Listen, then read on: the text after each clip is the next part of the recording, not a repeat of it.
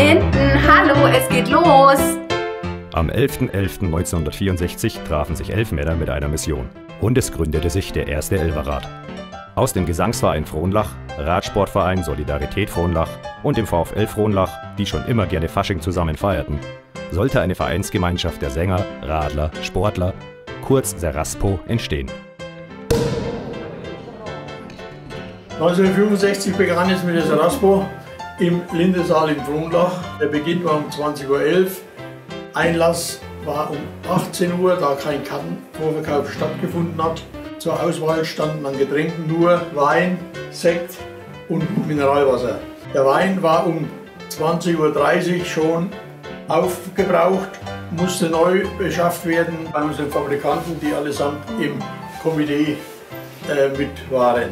Sie haben überall unser Wein geholt und ob das auch billiger war oder teurer ist, zum selben Preis verkauft worden. Und dann habe ich am nächsten Tag geschrieben, was können Sie was gemacht?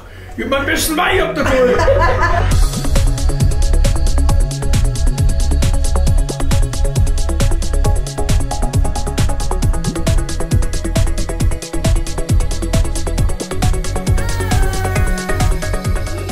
1968 bin ich, seitdem bin ich bei der Saraspo. 1970 war ich Funkenmariechen, war ich sehr stolz drauf, dass ich so weit gekommen bin. Die ersten Jahre war ja mein Mutti Funkmariechen da.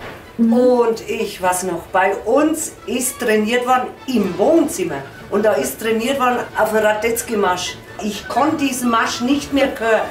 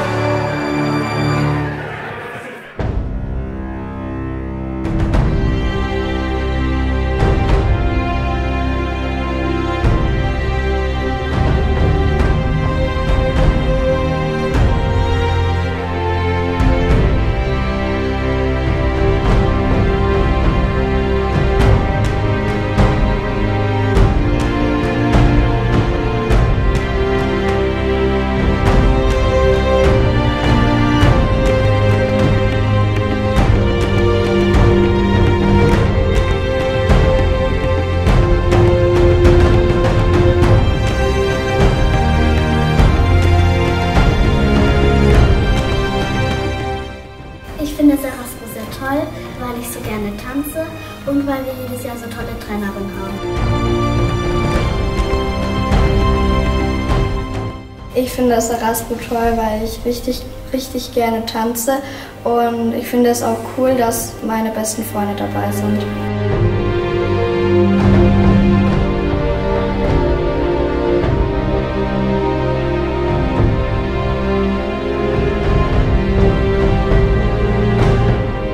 Saraspo ist für mich strahlende Kinderaugen, die Begeisterung der Aktiven auf der Bühne und beim Training.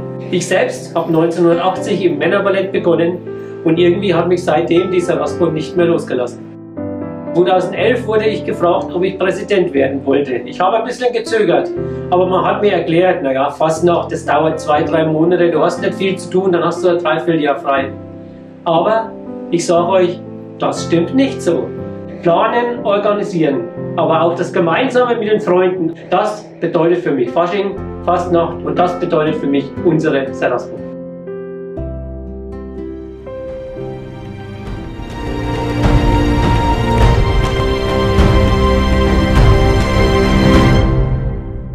Seraspo ist für mich krass. Mein zweites Zuhause. Ein Abenteuer. Mein Leben. Kreativität. Teamgeist. Leidenschaft. Spaß. Eine gute Zeit. Familie. Viel Arbeit. Aber am wichtigsten ist, immer über sich selbst lachen zu können. Ah!